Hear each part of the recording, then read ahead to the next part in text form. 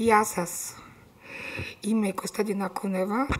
Κατάγομαι από μια γειτονική χώρα, από τη Βουλγαρία. Εγώ και όπως πολλοί από, από εσάς, αναγκάστηκα να μεταναστεύσω γιατί έψαχνα καλύτερες συνθήκες ζωής για μένα και το παιδί μου.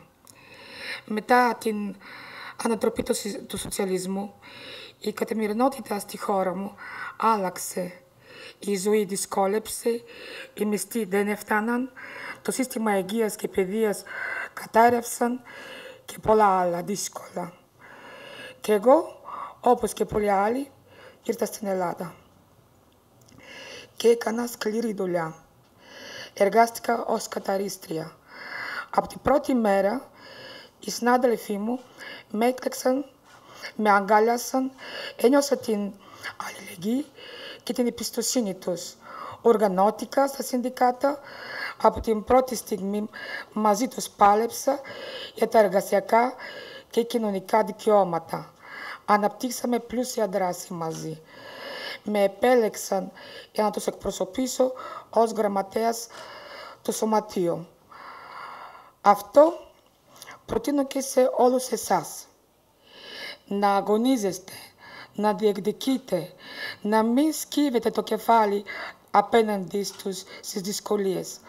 Όλοι μαζί μπορούμε να καταφέρουμε πολλά. Δεν μπορούμε τίποτα να μας σταματήσει. Καμία κυβέρνηση, καμία εργοδοσία, καμία τρομοκρατία, κανένα βετριόλι. Μεγάλωσα στη σοσιαλιστική Βουλγαρία. Εκεί όλοι οι άνθρωποι ζούσαμε καλά, ανεξάρτητα από εθνικότητα, φίλο, φιλή και θρησκεία. Σκέφτομαι πόσο καλύτερα θα μπορούσαμε να ζήσουμε σήμερα με όλα αυτά τα επιτεύγματα της τεχνολογίας και της επιστήμης. Αυτό το όραμα με οδήγησε να συμπορευτώ μαζί με το Κομμουνιστικό Κόμμα Ελλάδας και είναι η τιμή μου που συμμετέχω στο ψηφοδέλτιο τους και σήμερα γιατί το ΚΚΕ είναι απόλυτη προτεραιότητα στις ζωές και τα δικαιώματα των εργαζομένων. Με βάση αυτά, τα μέλη του Κομμουνιστικού Κόμμα Ελλάδας αγωνίζονται καθημερινά στη Βουλή και στο Ευρωκοινοβούλιο. Όλοι εμάς που ξέρουμε από μετανάστευση, που έχουμε ζήσει την πιο σκληρή πλευρά της σημερινής κοινωνίας, το ξεριζωμό, να συμπορευτούμε με το Κομμουνιστικό Κόμμα Ελλάδας, να παλέψουμε μαζί με τους κομμουνιστές, να σταματήσουν μια και καλή πόλεμη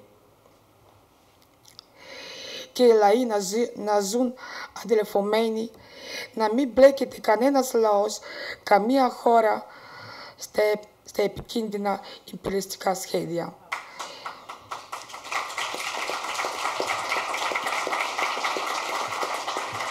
Εμείς οι εργαζόμενοι δεν έχουμε διαφορές μεταξύ μας.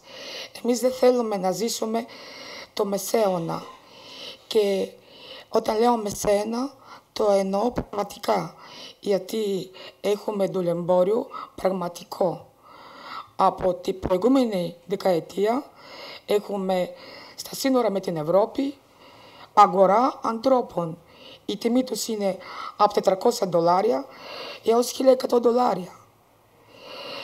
Τι σημαίνει αυτή την αγορά; Είναι μια πισίνα, μόνο χώμα, οι άνθρωποι είναι μέσα, έτσι ένας δίπλα στον άλλον και παρακαλούν να τους αγοράζει κάποιος, γιατί εκεί δεν έχουν νερό, δεν έχουν τροφή, είναι άρρωστοι, δεν μπορούν να κινηθούν, είναι όλοι δίπλα όρτιοι, από μέρες. Και τους αγοράζουν εκεί οι πλούσιοι, τους πάνε στα σπίτια τους στην Ευρώπη, το σπάνε στα εργοστάσια τους, κρυμμένοι κάτω από το έδαφος, εργοστάσια τσιγάρα και άλλα μαύρα, α, μαύρες παραγωγές. Το σπάνε στη Τουρκία για όργανα. Στην Τουρκία πας και ζητάς ένα όργανο να αλλάξεις και σε δύο εβδομάδες σου λένε 2.000 ευρώ. Έτοιμος είσαι. Από πού έρχονται αυτοί οι άνθρωποι. Από πού έρχονται αυτά τα όργανα από αυτές τις αγορές. Ήταν το 2017 ένα, μια αγορά στη Λιβύη το 19 ήταν πέντε στη Λιβύη. Άνοιξαν στη Ορδανία, άνοιξαν στην Αίγυπτο και ακόμα δεν ξέρουμε πού. Αυτά είναι απαγορευμένα. Δεν θα βρεις πια στοιχεία για αυτές τις αγορές. Τολμούσαν κάποιοι δημοσιογράφοι και κάνανε παλιά έρευνες. Τώρα δεν υπάρχει καμία στοιχεία. Και όλοι αυτοί με το καινούργιο σχέδιο για τη μετανάστευση και τους πρόσφυγες που τα πάνε στην άκρα της Ευρώπης, τι τα είναι; Θα είναι ίσως αν μπούμε σε ένας πόλεμος, οι επόμενες στρατιώτες που θα μπουν σε πόλεμο. Θα είναι έτοιμοι, εύκολοι, πεινασμένοι, αποκλεισμένοι, χωρίς αντέξοδο από εκεί. Αυτή θα είναι η μοναδική επιλογή τους. Κατά τη γνώμη μου, έτσι. Σκέφτομαι. Και τη Frontex. Τι είναι Frontex? Είναι μια αμερικάνικη εταιρεία. Δεν είναι μια υπηρεσία ευρωπαϊκή. Και εμείς πληρώνουμε στην αμερικάνικη εταιρεία να περιπολεί την Ευρώπη και να κάνει ό,τι κάνει. Από κακό στο κακότερο. Γιατί πληρώνουμε χοντρά.